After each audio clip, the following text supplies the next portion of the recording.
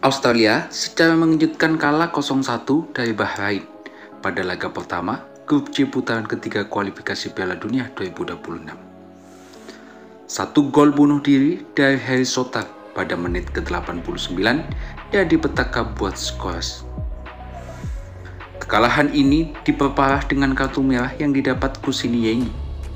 Ya, setika Australia itu, dia dipastikan absen saat menghadapi timnas Indonesia pada Selasa 10 September 2024 nanti di Stadion Gelora Bung Karno, Jakarta.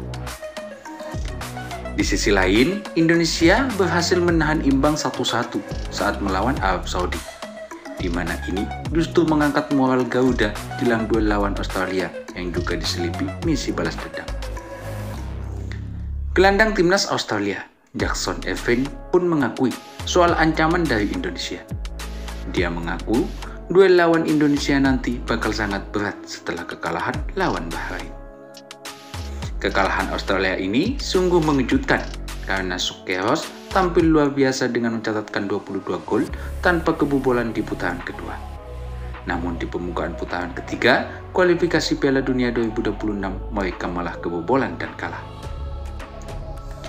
Tentu ini menjadi kekalahan kedua Australia dalam duel kualifikasi Piala Dunia sejak tahun 1981, di mana kekalahan sebelumnya diderita saat takluk 0-2 dari Jepang di Sydney.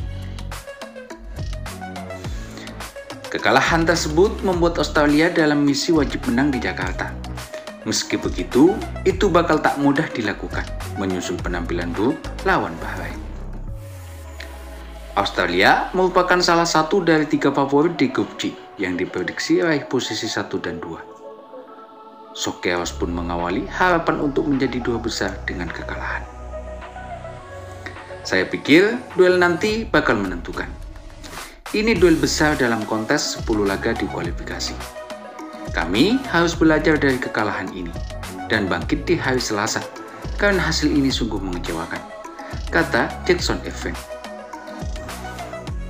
Kami sudah mempersiapkan diri, utamanya pemain muda yang belum pernah mengalami momen-momen seperti ini. Kami juga kurang bentung hari ini, karena bola tak mau masuk. Katanya lagi menambahkan. Australia memang mati kutu menghadapi Bahrain yang bertahan ketat di pertandingan itu.